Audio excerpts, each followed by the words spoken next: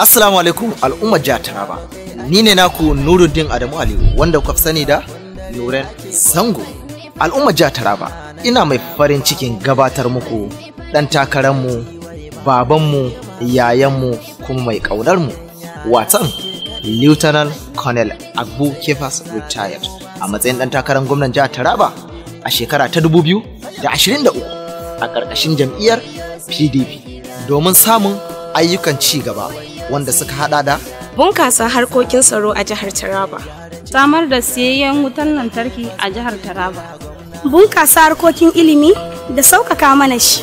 tabbas samar mana da hanyoyi kuma na zamani da kuma inganta mana sashin kiwon lafiya. Saboda haka mu cire bambance-bambancen addini. Mu kuma cire bambancin kabilanci. Da bambancin yanki a tsakaninmu a jihar Taraba. Da wannan nake kiran al'ummar jihar Taraba da murungumi magajin gwamna watan Lieutenant Colonel Abu Kefas retired.